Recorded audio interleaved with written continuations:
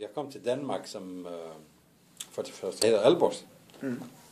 Og øh, jeg er flygtet, eller jeg er flygtning fra Irak. Jeg kom til Danmark i 1984. Øh, de er cirka 30 år siden. Øh, hvordan det var, øh, det var et helt nyt for mig. Det var en ny verden, jeg kom i. Øh, det var en verden, hvor man øh, fyldte øh, øh, fri, øh, øh, fri fra mange ting, altså øh, undertrykkelse for de første ting, jeg er på, altså mm. fordi i mig, mit eget land, så øh, jeg var undertrykt på mange måder. Yeah. Både som øh, kristen og som assyrer, som ikke hører til, altså et mindre gruppe, til, øh, etniske gruppe, der ikke hører til øh, majoriteten i Irak. Mm. Ja. Men så kommer til Danmark, og i Danmark så er jeg, øh, så er jeg mig selv, og så, er, så, så har jeg lov til at ytre mig øh, som øh, kristen og som assyrer, og øh, ja, det var fantastisk. Det var et øh, chok i starten. Ja. Ja, ja. Øh, og så var jeg, øh, var jeg også glad, fordi nu er jeg kommet til et kristen land. Sådan var det. Mm. Men så fik jeg også chok bagefter. Ja. ja. Det er også forståeligt nok. Ja. At øh, folk var ligeglade med, at man er kristen her i Danmark. Mm. Ja. Fordi der hvor jeg kom fra, altså religion spiller en virkelig stor ja. øh, rolle i, i, i menneskets liv. Øh, men da jeg kom til Danmark, så Nej, men det, det, var, det var ikke noget særligt, det der. Ja. Men så, så, så gik man ja, ned ad bakken igen, og så tænkte jeg, okay, så må vi leve øh, som, øh, vores liv som de mennesker her i Danmark.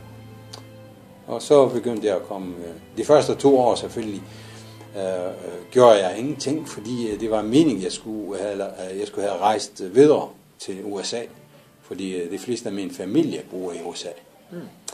Men da, mm, dengang hørte jeg, altså min bror han fortalte mig, hvordan livet var i USA. Og så skulle jeg sammenligne det med det her i Danmark. Så tænkte jeg, nej, glem USA.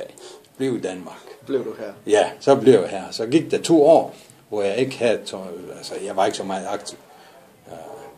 Nej, første år. Øh, men så begyndte jeg, så tænkte jeg, okay, hvis jeg skal blive i Danmark, så må jeg gøre noget ved det. Og hvad var det første, man skal gøre? Tag fat i nøglen. Og hvad var nøglen? Det var sproget. Nøglen til samfundet, så var sproget. Og så begyndte jeg også at tage mig sammen, og uh, skulle lære sproget, og så gik det, som det skal.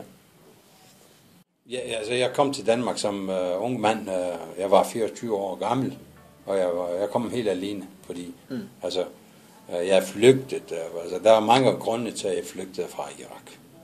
Men uh, der var i hvert fald ikke noget mere plads til mig. Altså, ja, fordi jeg var i herren, altså militæren, uh, så var det endnu farligere at blive i Irak. Yeah. Men som sagt kom til Danmark, og jeg var helt alene. Men uh, under min, mit ophold uh, uh, på Røde Kors Center, så kom jeg til at lære en pige at kende, så er vi sammen i dag efter øh, ja, 27 år og 28 år. Jeg bliver modtaget øh, godt, synes jeg, øh, af en fremmed, altså sådan bliver modtaget sådan. Mm. Øh, jeg tænkte, at det var øh, virkelig måske naivt at blive modtaget sådan der, fordi jeg kom med sådan en mentalitet, hvor i Mellemøsten, der i Irak for eksempel, man kan ikke bevæge sig uh, 300 meter uden at man bliver stoppet af, af politi, militærpoliti og bliver uh, spurgt om i, i sin uh, legitimation. Ikke? Vis frem, din, hvem du er. Ja. Sådan var de. Men her siger man, okay, um, du uh, tager en taxa nu, og så skal du uh, til de centre, hvor man er. Man har lavet en lille afmærkning på, kort, uh, på, på kortet. Så tager en taxa, og så skal du køres der.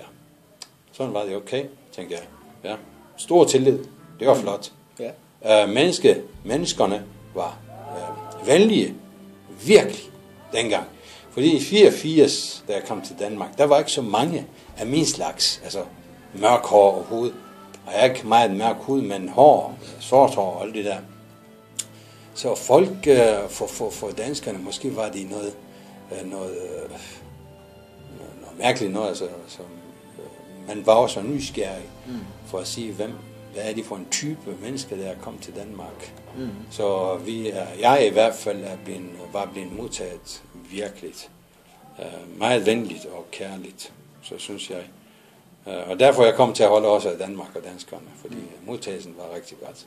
Og derfor betragter jeg også mig selv i dag som øh, tre kvart dansk og en kvart, ikke iraker, men assyrer iraker. Mm.